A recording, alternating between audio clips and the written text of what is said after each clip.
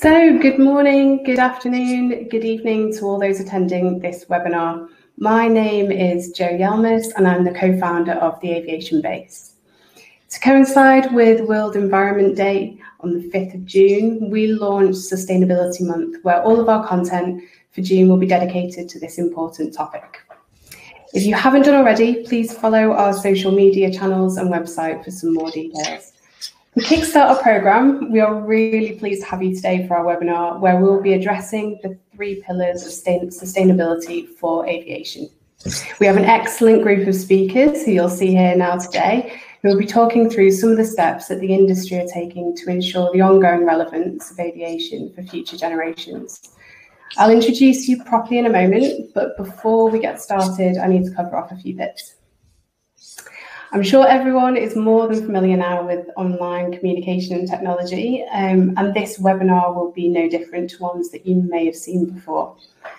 This platform automatically mutes you and your video is not on, so um, we can't see you. However, you do have the ability to communicate with us, and that's through the chat box that you'll see on the right-hand side. So each of our expert speakers will be giving a short presentation and then we'll open the floor to questions at the end. But please do feel free to post questions as we go through. Um, if you've got any questions for some specific speakers, please make sure that you um, you say that so that I can direct them to the right person. And if for any reason you experience any technical issues, then there is a reboot button at the top um, should you need it, which will refresh you and bring you back into the room. First up today, um, we have Dr. Suzanne Kearns, who's an Associate Professor of Aviation at the University of Waterloo. And she's going to be joined by Simon Witts, who's Chairman of NGAP UK and founder and CEO of IASD. And last but not least, at the end of um, the session today, we're going to have Alexandre Feray, who is the founder and CEO of OpenAirlines, who are an international software company on a mission to help airlines reduce their fuel consumption.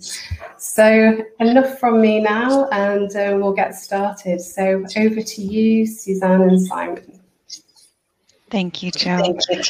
And uh, thank you so much for the opportunity to speak to everyone today. I know myself, uh, being more of a traditional aviation person, uh, learning about sustainability is something that I came to relatively late into my career. And, and it did uh, take a bit of sort of research and investigation to really understand what it meant.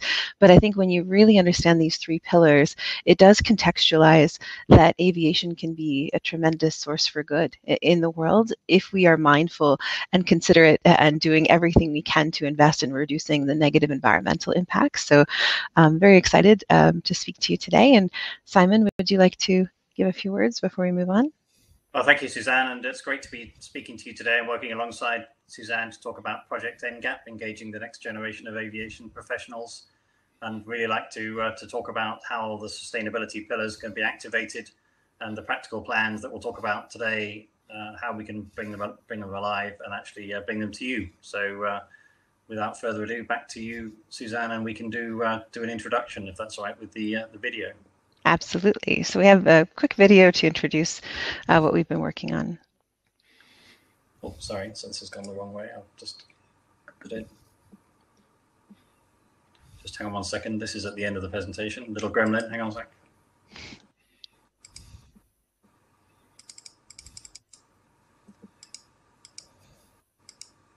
Some reason it started the presentation at the end, which is always a good place to start. So, an opportunity to chat amongst yourselves and uh, like starting with the learning objectives, right? Like when you're teaching a class, you begin yes, it with. I didn't realize that perhaps I should make a habit of starting presentations at the end. Suzanne, might just a couple of minutes just saying a little bit about yourself and your yeah. background. Um, yeah, so I uh, I can give you um, some of the origin for some of this before we play the video. So I've been uh, an aviation professor now for gosh, I think 17 years, and and I think it's the best job in the world, uh, primarily because I just really enjoy teaching young, passionate aviation students. Um, I, I relate, I think, to to their journey and their passion and their enthusiasm.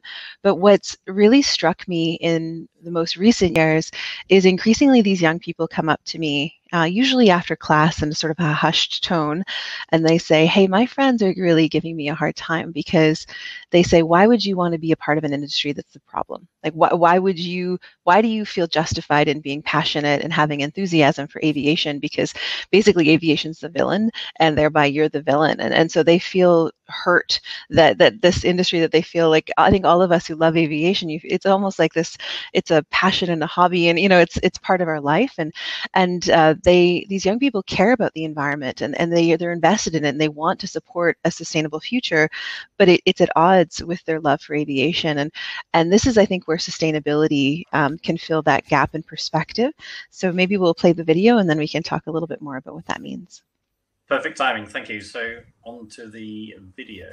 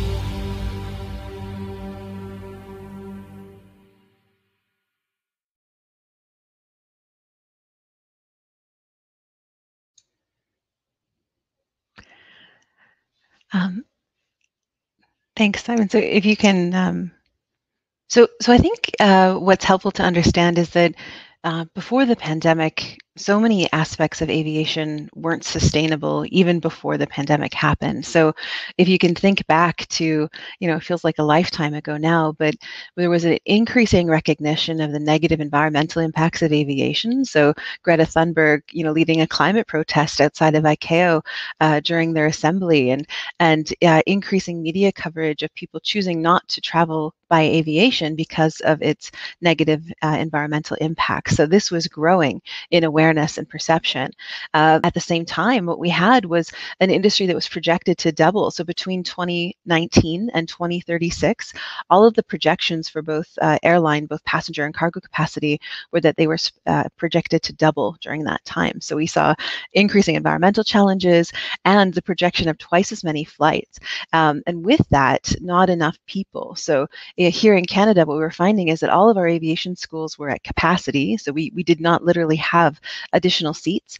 Um, even this year in our aviation program, we had around, I think, 800 applications uh, for about 100 spots. So, so there's still a significant demand.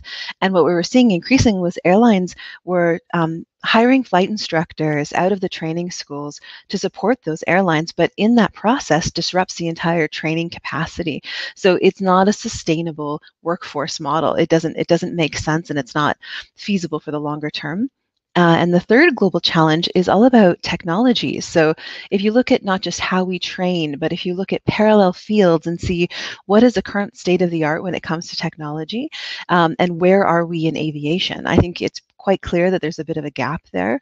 Um, and of course, we need to prioritize safety and efficiency in our operations, and that sometimes there are safeguards in that process that might slow the integration of technologies. But the reality is that without um, the evidence and direction to support the integration of these technologies in a safe and efficient way, um, then the industry is going to be challenged to keep up with the state of the art.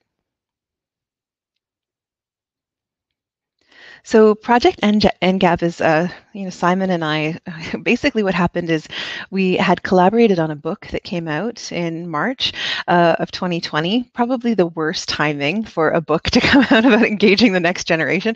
I remember thinking like, oh gosh, that's that seems terrible. Like it's literally the last thing on anyone's mind is how are we going to bring more young people into aviation right when the pandemic hit. Um, but Simon and I, of course, I think one thing we truly share is the the love for our industry and the support of our industry. And, and we continued our conversations to say, you know what, maybe when we see the industry facing crisis, it isn't the time to stop innovating. It isn't the time to stop figuring out what we can do to collaborate to do things better, but instead, maybe it's even more so a priority and more important for people like us who aren't fully dedicated to operations. Like, of course, all of our colleagues in airlines, like they are busy. they they certainly had um, you know a tremendous amount of work on their plate to survive the pandemic. But the people who are in in different positions like us, that perhaps instead it is the perfect time for us to think about innovating to support the sector so that we can address some of these big sustainability challenges and set the industry up for a better future. Simon, do you want to add anything to that? No, I think you, you summed it up really well, Suzanne. So I think it was an exciting time. A lot of new initiatives come out of a time of difficulty, a time of, of trouble. So um, that opportunity to rethink things and to restart things in perhaps a different way is a once in a lifetime opportunity, uh, which sounds really tough on the people who suffered out of it. But we want to make sure that the next generation of aviation professionals enjoy an even better experience in this industry that's uh, that served us so well uh, but actually, we need to look at also what are the new opportunities, what are the new initiatives out there that can make a real difference. In fact, some of those we haven't thought of yet. So, uh, how do we inspire the next generation to actually take this industry forward uh, in a way that we haven't yet imagined? So, Suzanne, over to you to talk about uh, the sure. initiatives. So uh, for so NGAP, of course, uh, is its origin was in an ICAO program, the next generation of aviation professionals, and ICAO has done some tremendous work around how do you attract, educate, and retain people within our field. And the book that uh, that Simon contributed to, that we collaborated on, um, was all about looking at it from a bit of a different perspective. So it's about taking that initiative and moving it into an academic space and saying maybe this is a field of study, because I think one of the main reasons why we haven't been able to effectively tackle big obstacles in aviation, like, um, for example, gender and diversity, uh, like inclusion in aviation, that uh, relatively in our sector, we haven't addressed that issue as well as other industries have. Um, and it, things like training and really, you know, bringing our training up to the cutting edge. Um, but a lot of these challenges, I think one of the reasons why it's difficult to move the discussion forward is because they don't fall under an academic discipline the way human factors, for example, does, and everybody works in, under the same umbrella to move that forward. Um, Simon, could you go to the next slide, please? So, uh, so from Project NGAP, of course, Simon is uh, tremendous when it comes to looking at how do you um, mobilize sort of a, a, national system towards training. Um, and he'll talk more about that. I think you'll be fascinated to hear what he's doing. Um, but from my world, I'm, I'm an academic. So I, am a university professor, I'm a researcher and a writer, and I live in the university system.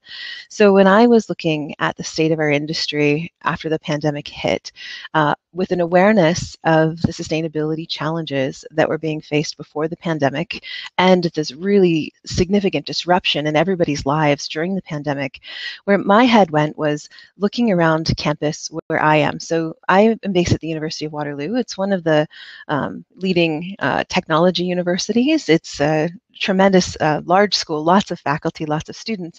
Um, but what I found and what I was struck by was that very few of my fellow research professors engaged with aviation. And, and so what I started doing was having many conversations with different professors of all different kinds of backgrounds. And I would often say, you know, if you give me 15 minutes, I can connect how your research that you're already a leading expert in, you know, you're already doing amazingly innovative things. I can connect how that addresses challenges in the aviation space. And over um, quite a long period of time, uh, what we did is we've mobilized uh, a significant group of professors and as of next week, uh, actually two weeks, uh, June 21st, um, the proposal to establish a new research institute will be considered by the University Senate. Um, the research institute is called WISA, or the Waterloo Institute for Sustainable Aeronautics, but it's all about bringing together a large team of multidisciplinary faculty members and graduate students to create a hub of research around this issue, um, and really about informing public policy, but also directly supporting the industry eh, around these sustainability issues. Um, so just a bit of a timeline. So um, I teach in our aviation program here at the University of Waterloo. We have about 300 student pilots on campus. And uh, for the first few years I was at Waterloo, my primary focus was supporting and developing the undergraduate program. But uh, when we reached capacity for the undergraduate program, I started the process of uh, talking to other professors and, and sort of engaging with them, as I mentioned. Um, so we formed sort of an unofficial research cluster just with a handful of faculty members um, in late 2019. And uh, I led a proposal to purchase a flight simulator to be installed on campus, uh, fully dedicated for research activities. So um, some of the other applicants who are interested in using the simulator are studying everything from artificial intelligence and machine learning and how pilot skill develops to visual standards, so using special goggles that degrade your vision and, and identifying particularly at what point that affects your performance. That can inform medical certificates and the standards for medicals. Um, to people who look at gaze behavior, so how your eyes jump around a cockpit environment and collect information, um, and the idea that that can actually be indicative indicative of a person's competence. So, so marrying that gaze behavior to a competence model that there are a really wide variety of applications for this type of simulator. And uh, just actually last week, it was installed on campus. So that was really exciting. Um, and, and, then, of course, uh, the NGAP book was published in the second quarter of 2020, and that's what led uh, Simon and I to continue thinking about NGAP as, as a focus area, and NGAP Canada um, really taking the lead as far as establishing a research hub around these sustainability concepts. So it was really only the beginning of this year when we really looked at the Sustainability Institute, um, formalized the concept for what that could be. Uh, we had many conversations, uh, both internally on campus and externally externally um, with government and industry partners. And we were really thankful to receive some significant support from university leadership. Uh, today, there are six faculties on campus, and we have uh, direct support from five of those faculty deans, uh, as well as the senior um, university provost in, in this um, application.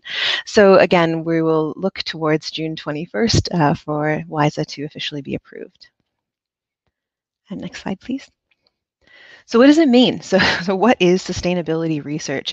I think uh, this is really critical because although the environmental impacts um, of aviation are absolutely a, a, tremendous focus, and we do have several research teams already on campus doing look into or doing work into. Right now, they're looking at e-planes. So, how do you get electrically powered aircraft for flight training purposes? How do we replace some of the traditional fleet? Um, it turns out that the vast majority of aircraft in Canada used in training were manufactured in the 1970s. Not to mention they're burning leaded fuel, and, and that has its own implications. So, so that's only one example, but you can imagine everything from sustainable fuels to more direct flight paths to leaning onto sort of the mechanical engineering side of research to look at um, modern airframe designs and technologies. But there's also the, the social pillar, and this is where NGAP really is uh, situated, is that social sustainability is probably the one pillar of sustainability that people have a harder time understanding. And uh, the way I define it is under this NGAP theme. So it's about how do you develop a sustainable workforce for the people? How do you make careers in aviation worthwhile so that people aren't leaving those careers you know, in, in the middle of their lives, but but they feel fulfilled and they feel supported and they feel educated and they have opportunities for growth. So it's about attracting educating, and retaining them throughout their lives. But it involves everything from marketing and outreach, like how do you reach young people to consider aviation careers, to human factors, educating them about their own natural limitations. And that gets into things like well being and mental health uh, flight physiology, keeping them healthy, keeping them effective, to educational technologies. How do we optimize how people are trained and learned and learn, as well as supporting equity, diversity, and inclusion. And I've also been collaborating with interesting researchers who take it one step further and look at sustainable tourism.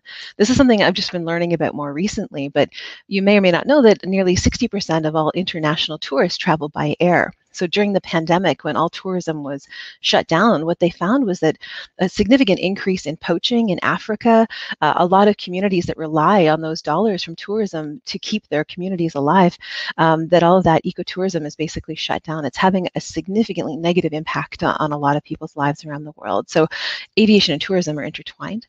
And from an economic uh, sustainability perspective, we really do, because we're Waterloo, we take more of a technology focus to it. So uh, I always uh, say that I think that the future of aviation is almost difficult for us to imagine today because it's going to change so much.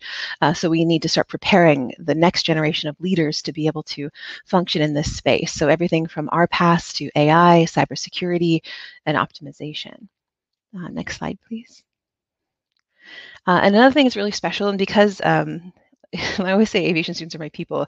I, I want to make sure that they're not lost in all of the, uh, this research that happens and not exploited. That's absolutely critical to me because I think in our in our sector we need to support uh, the next generation. So what I've uh, structured for the institute is an idea where having hundreds of student pilots on campus is actually this really unique ecosystem because they can support the research as participants, and those are paid positions, and then researchers in turn have access to this large pool of pilots in training who are sort of lockstep step progressing and training at the same rate, which is a really unique uh, attribute as well. So I'm hoping that this uh, supports sort of a mutually beneficial ecosystem that's supporting both the students and the researchers. Um, we're also wanting to look at a, a really unique graduate program. So uh, pretty much in Canada, it's very rare to have master's and PhD programs in aviation. I know other parts of the world, it's, it's far more common. Um, but what we want to do at Waterloo is very reflective of what the Institute wants to do, which is a, what's called a collaborative aeronautics program. And what this means is that if I was a wanted to get a master's or a PhD, in something aviation related, I would apply to one of a number of programs at Waterloo, so maybe a master's in psychology or a PhD in engineering. And while I'm completing that study, uh, during my elective courses, so I would come together with other uh, multidisciplinary students from across campus, and I would complete two aeronautics courses, um, including integration with industry and field trips, and I would um, have sort of a big challenge at the end to produce uh, some really interesting work. And then I would go back to my home department and I would focus my research on aviation. And then when those students graduate, they would get a dash aeronautics on their diploma. So whether it's a master's in psychology, dash aeronautics, or a PhD in engineering, dash aeronautics. And the, th- the reason why I think this is so powerful is because we're not leaning into just aviation as a discipline. What we're doing is we're tapping into sort of the cutting edge and leading experts in a wide variety of different, different disciplines and creating the next generation of aviation leaders who can support our sector. We're hoping this will launch in September of next year. Uh, we also want to support uh, the development of certificate courses. So in addition to supporting, um, you know, our undergraduate students in the flying program, our graduate students through the collaborative program, recognizing that a lot of people around the world can't leave their jobs and come to campus for a full-time degree, uh, we also want to support a variety of certificate-based courses that would be um, sort of stackable micro-credential. Uh, that's the concept, um, so that people can look at upskilling uh, some of their abilities. And some of these early courses we're looking at are the Aviation Fundamentals course, which is an introduction to aviation for people who are maybe transitioning professionals from another field or youth. Uh, and we're also looking uh, today at some new courses around technology. So, what does AI mean in aviation, and, and what do these concepts look like? Um, equity, diversity, inclusion, I think, is an absolutely critical pillar for what we want to do in the future. Um, and again, I sort of think about WISA, this research institute, trying to provide some leadership for the air transport sector at the interface of society, inclusivity, and technology. Um, there is a real distinct lack of diversity in aviation. Again, only about 5% of airline pilots are women, and, and Black women represent less than 1%. Uh, so we want to make sure everything we're doing that is giving uh, voices to racialized communities and to really invest investigating uh, even things like our training and assessment systems to identify if there's any bias that could potentially be holding people back. So just some key research capabilities, uh, not to read them all, but everything from AI, uh, sustainability is the heart uh, of what our institute is, um, cybersecurity, geomatics, training, health, uh, vision science and physiology, and augmented virtual reality. These are some of the, the key areas we're starting with. So overall, uh, I'm hoping in two weeks, on the 21st, um, there'll be a, an announcement on LinkedIn with some really good news that WISA has been approved and it exists, and and then we get to actually start with the work. So uh, I do hope uh, that this is something that can be in service to the industry. That is my number one goal: is to really mobilize research capacity to support our sector. So if the aviation industry has big challenges or needs, um, then they can come to us uh, to help help collaborate with us to find these answers and because we're not for profit, because any of those um, you know sponsored research, it doesn't it doesn't affect uh, faculty salaries. It really does fund students and the development of students, and that supports the pipeline, right? So then we get more and more uh, young people joining our industry who are highly qualified and in a position to be leaders in the future. And that's all I got. Thank you. So thank you, uh, Suzanne, and uh, very keen to uh, to point out at this stage how this collaboration we, we see growing since we first started working together. So the one way of, of doing this would be to almost parallel the discussion about Canada and how we do that in the UK. But but we decided under the Project and NGAP umbrella we would take a bit of a different tack. Is that we would focus on a different element of the uh, of the, the global challenges in terms of the generation of the right people with the right skills in a complementary way. And as we round off this presentation and at the end of this uh, session, we'll talk about how we can mutually work together to make sure that what works in one country can then be uh, collaborated into the next, etc., and how we start to syndicate this activity uh, globally. So I'm just going to talk a little bit about um, the NGAP uh, UK initiatives, and I'm going to start with a, uh, a video uh, after I just talk about the focus areas. So that to me, the right programs and the right partnerships may be self-evidently to most people listening is around attracting the right people to the industry, the right people with the right skills. And uh, Suzanne's talked about some of the priority areas. How do we get more people of color into the industry? How do we get more uh, people in a uh, in the right gender balance, uh, diversity, inclusivity mix? And what are the practical and achievable ways we can do this? What are the ways that, that really work? We don't want to, to perhaps replicate things that have uh, haven't really solved the problem because, as Suzanne pointed out at the start, going into the global pandemic, we had a global uh, critical sh- skills shortage. We need to bounce out of the pandemic with some solutions that work. And as I've mentioned, finally, to sort out the diversity and inclusivity aspects, which to me are, are a problem that, that really uh, continues to grow in the industry, we need some really uh, important and, and uh, significant initiatives that are going to, going to solve this. So the International Air and Space Training Institute is an idea that was born out of uh, discussions with with Suzanne and uh, and similar to the uh, the approach in Canada in terms of how do we bring all the elements together. So it's giving the people the right skills. It's a full partnership. NGAP UK being a not-for-profit, a social enterprise organisation working with IASTI, putting on the ground solutions across the UK. One of the challenges in the UK is that we don't really have aviation focus areas in just one location. We actually need to syndicate this across the country to make sure that people from all walks of life across the country can access these opportunities. And we need to directly influence, play our part in the global personnel shortage. Although we're talking about a UK solution here, of course, aviation being international, we can we can work across borders to make this work. And in, in terms of partnerships with the right education and training partners, make sure that at all ages we embed the industry training into the education system uh, and bring it alive. So I'm just going to play you a short video and then sum up what IASTI is, and we'll, uh, Suzanne and I will then round up with a uh, how we're going to talk about collaboration in the future.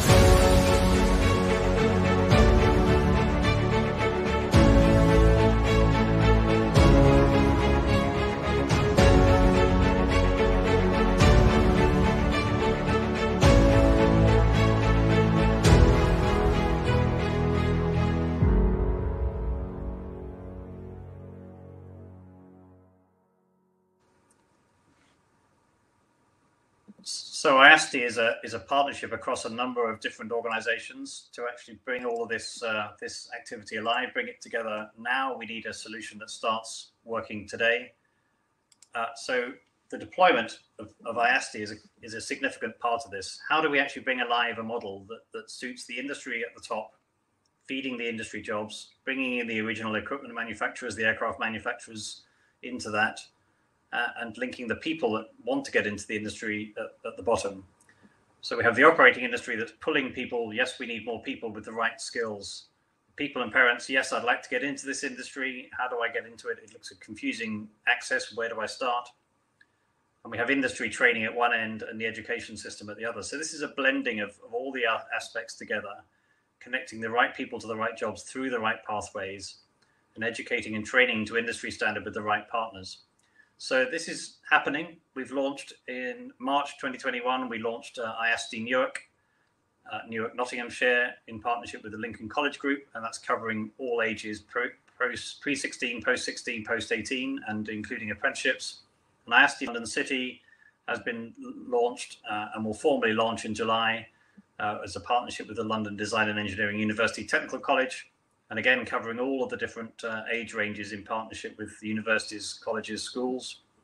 NGAP UK activates these in the regions, so it, it's connected into the to the different locations, making sure it brings together charities, uh, support organisations, councils, uh, local authorities, people, organisations, to make sure that we get the right blend of people coming in to attract them into the industry, educate them, and ensure that they retain and three initial focus areas being the aircraft engineering side, the ground operations side, including flight dispatch, and the pilot side. And really making sure that all of the people skills that we need are combined at the start. So that group of people need to understand each other's roles. So how so we integrate those at the start of the pathways to make sure that people understand each other's roles, have a mutual respect for the roles, but also a mutual understanding of what's required in those areas. So deploying across the uh, the UK, and if we link it right back to the start, then making sure that, that we face up to the challenges, the global challenges we've talked about, lay the foundations for the future, make the right connections with the partners, create the right pathways, deploy the right opportunities in, in the UK. And part of our plan is then to work work with international partners to globalize this this plan and get back to a situation where we can have a reliable supply of the right skilled people across the globe as we bounce back from the, the pandemic. So Suzanne and I really, Suzanne comes back on screen to talk about future collaboration opportunities. Uh, and it won't surprise you to know, as, as far as we're concerned, that we we want to spark a coordinated approach to global challenges. We're talking here about Canada and the UK, but we've already started discussions with organizations in the USA and other countries about how we can coordinate this approach. What we don't want to do is to have lots of different people doing the same things differently. Ideally, we have specialist areas, Suzanne leading on global research um, programs, and we coordinate those into the UK and vice versa in terms of NGAP Canada, learning from the experience of Canada, how can we make sure that the, the UK pilot is not just suited to the UK and sharing best practice on the diversity and inclusivity programs. So, and growing new country chapters as we as we move along. So, Suzanne. Yeah, I think that um, if there is a, a, significant challenge in sort of the history of aviation and how we've done training and skill development in our workforce over the over the past is that we all sort of do things separately right? So so it's this scattershot approach and everybody is um, maybe addressing the same problems but i'm working on problem a and so simon and you know so somebody in australia and, and, and all of the other parts of the world when in reality if we could each build uh, collectively on the previous work that's been done that's how we we can shift our industry and move it forward. And and even though I like I'm I'm really passionate about aviation students and I, I love the um, the ability to work with them and to educate them, I also recognized through working with Simon that um, you know we all need to lean into our unique strengths. And so from from my role in a university it's really about how research can be mobilized to support the sector. And and it, i think it's by each of us sort of leaning into um, you know what is uniquely of value that we can do to support these big challenges that's how we can uh, really mobilize and move things forward. So i think that this is a, a an exciting model. I, I hope that others also see the value in it and maybe could help support us as we look to really move this to the next level So I think that's the end of our presentation, Joe. Thank you very much. Really interesting to hear all the, the great work that you're doing. And then, yeah, keeping my fingers crossed for you for the announcement on the on the 21st of June, did you say? Yeah, yeah you'll either see like a very positive LinkedIn announcement on like the 21st or the 22nd, or you'll see like a not so happy Suzanne on social media. One, one of those two things is going to happen. But I think we've got enough support that it, it's going to um, hopefully move forward. But it's it's been it's been exciting. Oh, fantastic. Well, thank you very much for giving us some information. Um, to everybody that's listening, please remember to keep um, putting your comments. It's really greatly appreciated, your comments in the chat box. And if you do have any questions, then um, Simon and Suzanne will be back after Alexander's um, presentation to be able to answer those.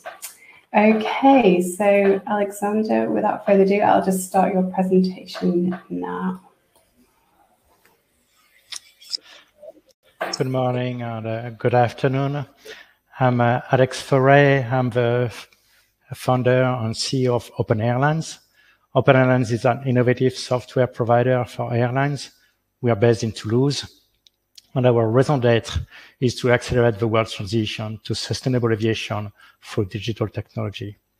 And obviously, um, I will um, take this opportunity to explain how our story relates to the three pillars of sustainable aviation.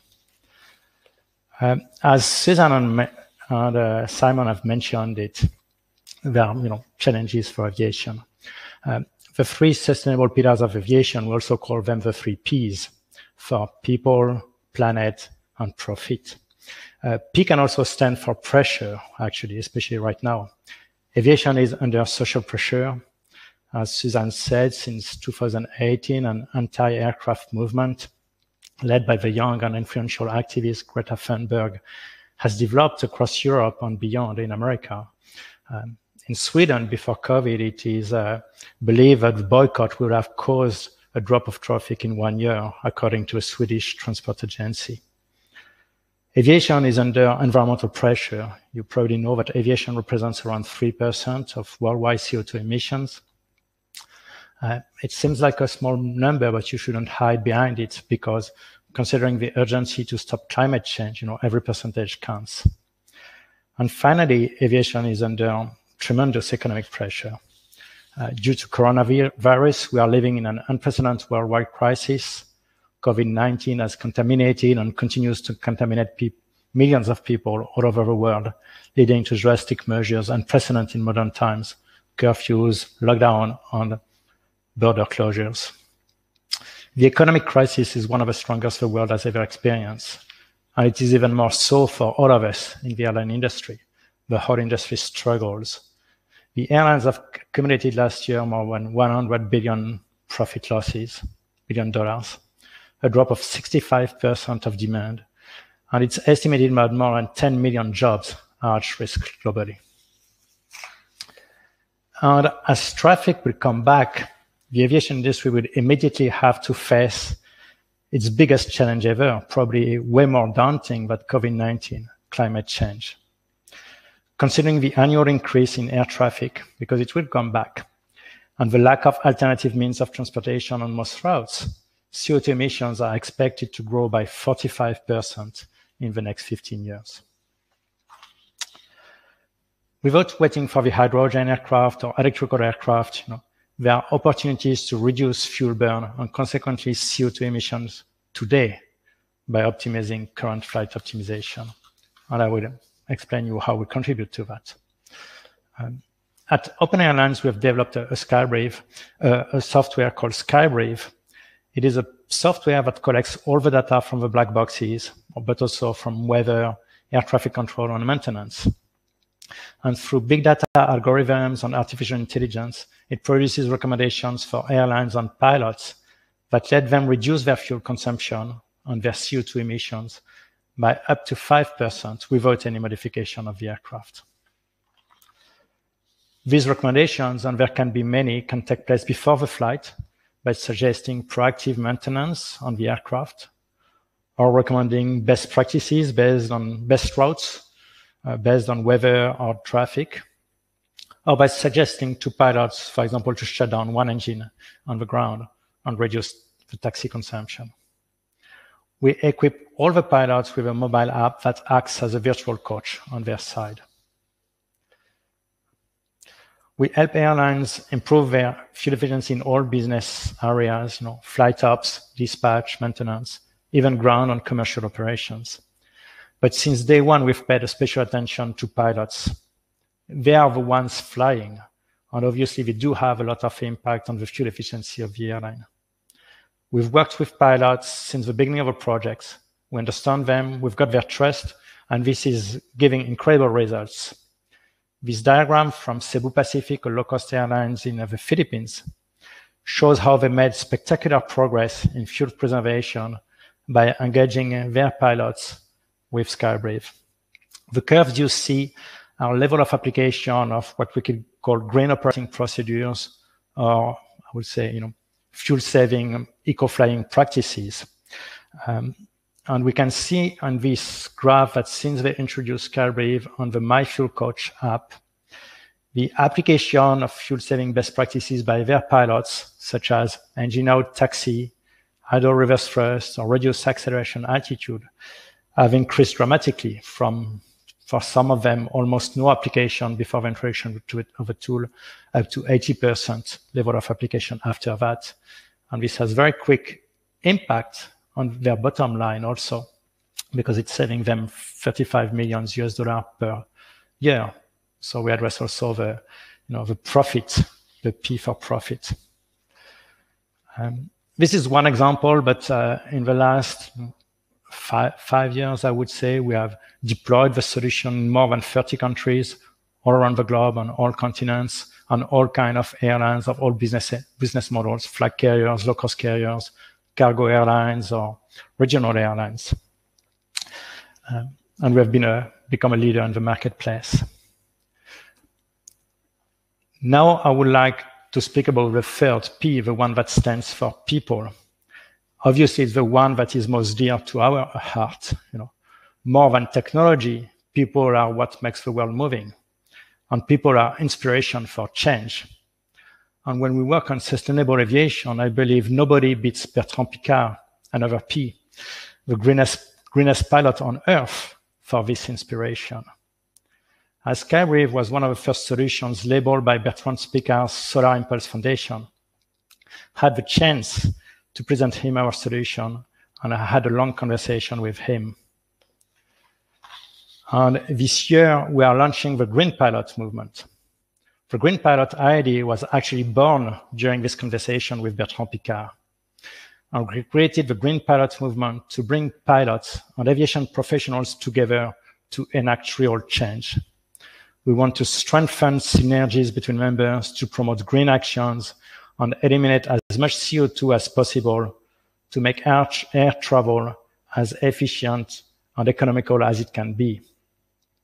We also aim to raise awareness on the world aviation industry's effort for the environment because people are not sufficiently aware of these actions. We think that information needs to be spread on a larger scale onto the general public, another P. If aviation is encouraged, if it's acknowledged and helped in its transformation, it will develop existing initiatives and tap into new ideas. And we are very happy and proud, again, another P, that Bertrand Piccard and the Solar Impulse Foundation have endorsed the movement and have accepted to be its official godfather. Now, to go back to the three Ps at the beginning of my presentation, you know, on, I wanted to explain how we relate to these three Ps. Uh, thanks to SkyBreathe, our customers, you know, these 40 uh, something airlines around the world, they have saved more than 150 million US dollars. So, you know, we are a domain where economy and ecology go together. In terms of CO2, this represents almost 600,000 tons of CO2, which is like planting 75 million trees. And uh, for the people, you know, I've just announced this Green Pilot movement. You know, the community is, is thriving very, very quickly. We aim at, you know, having more than 1,000 members by this summer. Uh, so if you believe that green aviation is possible. If you want to show your support and you know uh, be part of a solution, then join the movement at greenpilots.com. You know it's free, and uh, and you'll be welcome as a member, and you can show your pride. Thank you very much. Thank you so much, Alexander. Really great um, presentation there. Um, should I, um, would it be possible just to put the link into um, for Green Pilot into the uh, chat box, just if anybody wants to sure. to check that out. I do that. Thank you. Great, thank you. So, would um, Suzanne and Simon like to come back? And what we'll do is we'll just stop that slide presentation there. Um, please feel free if you um, want to ask any questions. I know that some people have been connecting um, on private messages which is fantastic. Um, so um, that's what this is all about and connecting people and joining in the conversation, which is fantastic. while we just wait for a couple of questions to come through, I have Um, my own, if I may. Um, and I guess this is for, for all of the speakers um, do you think that there is a place for sustainability awareness and practices within the training environment? Um, I know I it's probably quite outdated my training now. I, I trained as a pilot in 2007, um, which is a while ago, but I can't remember this subject really being part of the syllabus or the context. I'm not sure if it is at this moment. Do you think there is a place for it going forward? I I can add sort of my perspective. So I went through the same thing, like training to be a pilot, flying airplanes and helicopters. I went through Embry-Riddle in the States. And through all of that, it was almost that aviation and environmental considerations were opposite uh, cultures rather than sort of the same culture. And uh, so I, I, taught as a professor for 12 years at one university. And then I, I moved to the University of Waterloo, where our aviation program is actually in the Faculty of Environment. And, and so I was, for the first time, an aviation person surrounded by all of my colleagues being environmental scientists. And I remember at, at the very beginning of that thinking, this does not fit. Like this seems, you know, it seems so foreign to, to what aviation has always been and my understanding of it was. But what I've come to appreciate and recognize is, is actually the opposite. It's it's such a tremendous strength because the reality is we all have the same toolbox, right? Like if you're all educated in the same way, the skills and strategies you use to solve problems, like my toolbox is probably very similar to most aviation professionals. But what we need to address our future is a new tool, like a new toolbox, somebody who's coming in with new ideas and and new solutions and and all sorts of um, new strategies to support our future. So I've been teaching a new course in aviation sustainability on campus. It's part of our undergraduate degree for the past three years, um, and, and, that's I think um, you know one of the ways we've moved into it. But likewise, the the textbook that I wrote, the Fundamentals of International Aviation, it's used all over the world in translations. Um, it does have a chapter in it as well about the environment, and it's about weather, and then two thirds of it are about the negative environmental impacts of aviation and sustainability and sustainable development goals. So I think we need to do better in in having this be part of of, of what we teach from the very beginning. And only by leaning into and acknowledging that this is a problem can we really start mobilizing solutions. Yeah, I think doing that against a backdrop of, of facts rather than perhaps fiction is something we've, we've talked about as well. And so, so educating people forward, to me, should be celebrating the progress that's been made over the years already in in sustainability and uh, environmental impact of aircraft.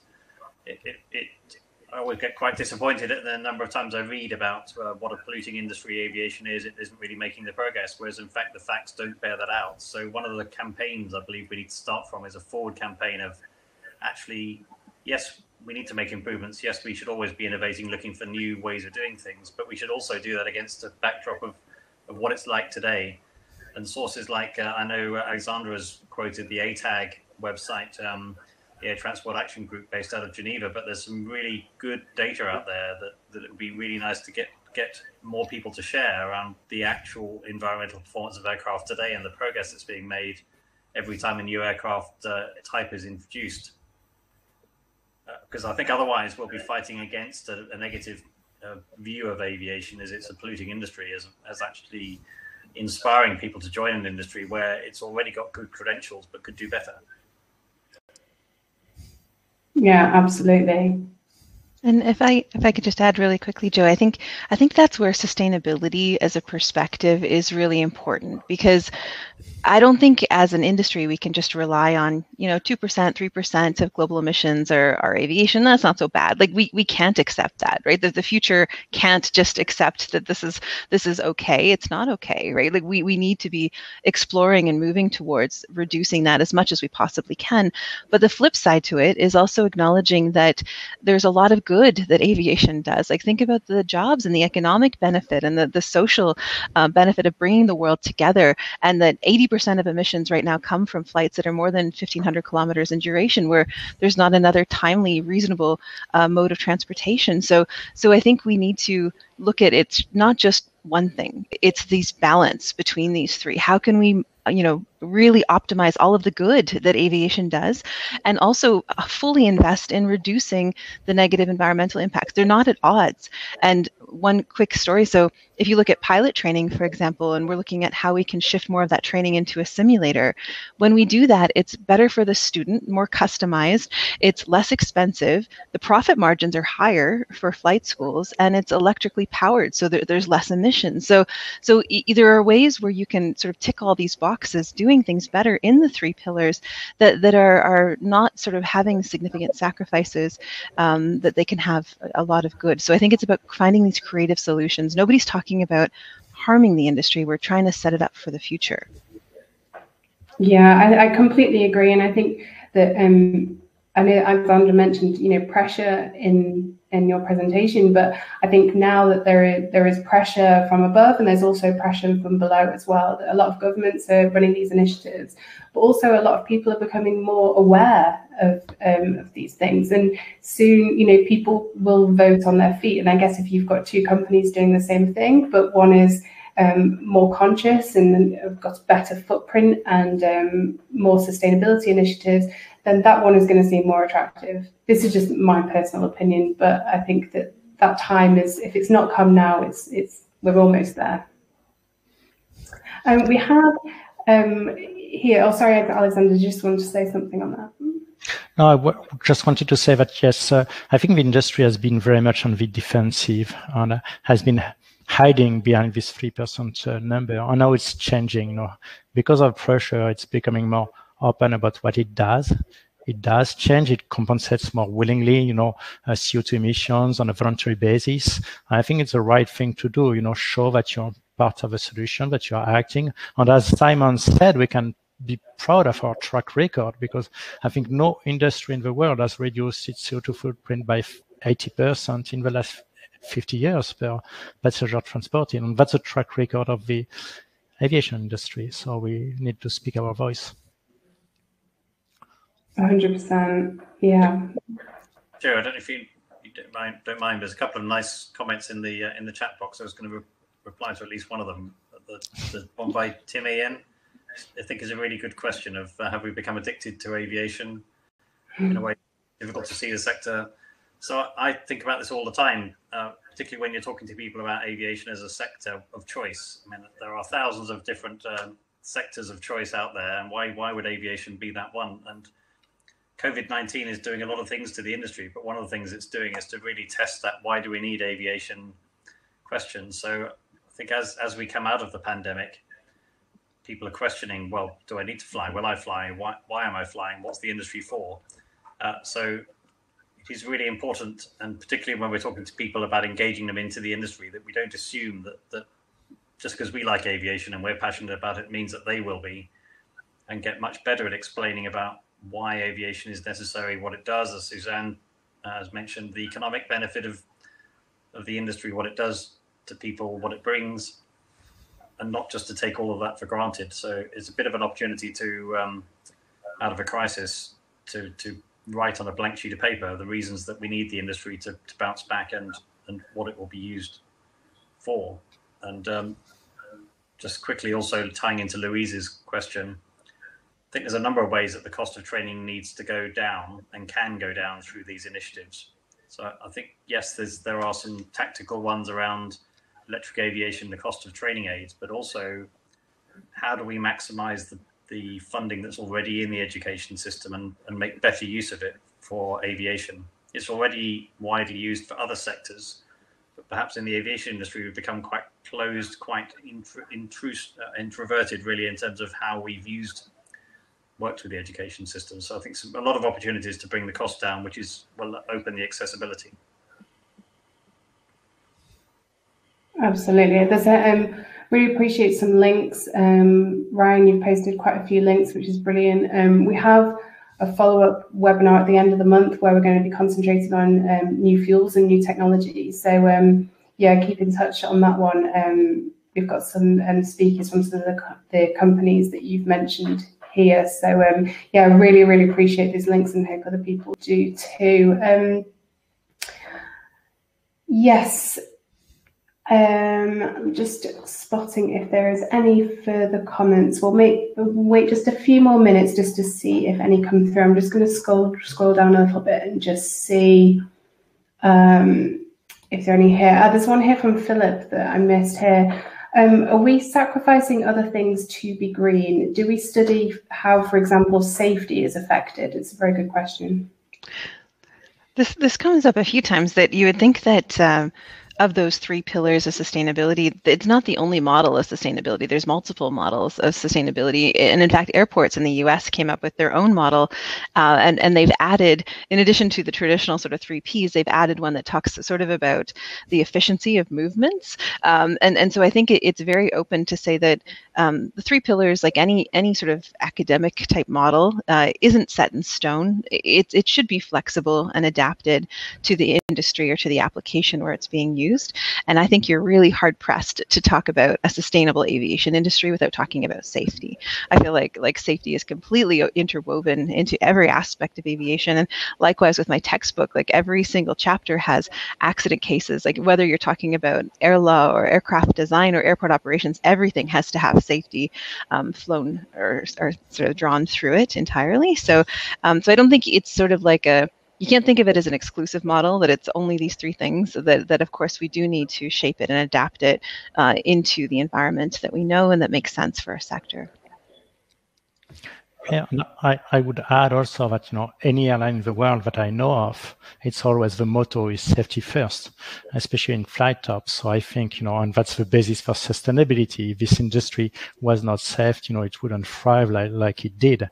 Um, and uh, as we you know encourage pilots, for example, to fly green, we always embed safety first. You know, and uh, it, it can be thought that green is against safety, but on the contrary, on a lot of cases, uh, especially by learning from the data, you take better decision because they are based on fact or based on the experience of all the other pilots instead of your own personal experience.